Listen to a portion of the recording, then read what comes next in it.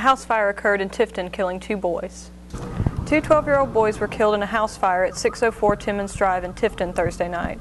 At 1:40 a.m. on January 22nd, the Tifton Police Department, along with the Tifton Tift County Fire Department and EMS, responded to the fire.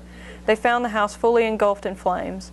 The boys were pulled to the porch by their mother and sister and pulled away from the house with the assistance of neighbors.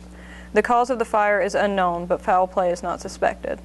The investigation is ongoing and is being conducted by the Tifton Police Department in coordination with the State Fire Marshal's Office and the State Medical Examiner's Office. For the Stallion, I'm Grace Holland.